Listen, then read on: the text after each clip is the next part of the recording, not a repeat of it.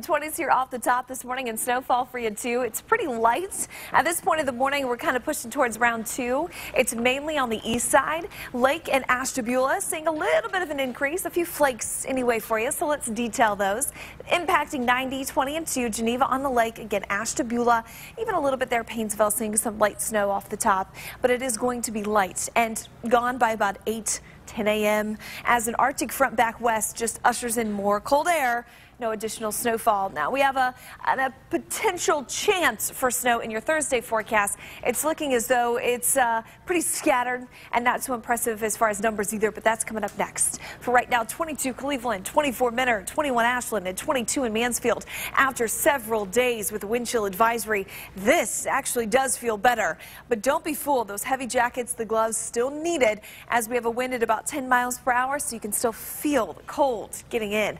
10 degrees for what it feels like in Cleveland, 12 in Akron and Ravenna, 9 in Wooster, 10 for Mansfield, and 16 in New Philadelphia.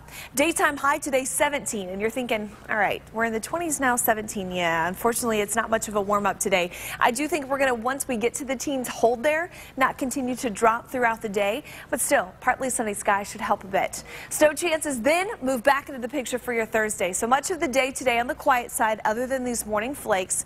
Here's a look at Wednesday at 11 o'clock. Yep, no problems. We're going to see those snow chances arriving for us as we push towards 7, 7.30 on Thursday.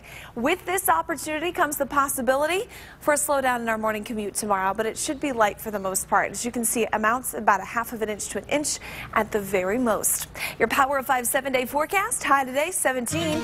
Still remembering Thursday and Friday are bitterly cold as we wake up Saturday morning potentially almost 10 degrees below zero. 32 still predicted for Sunday as our snow chances are there into Monday.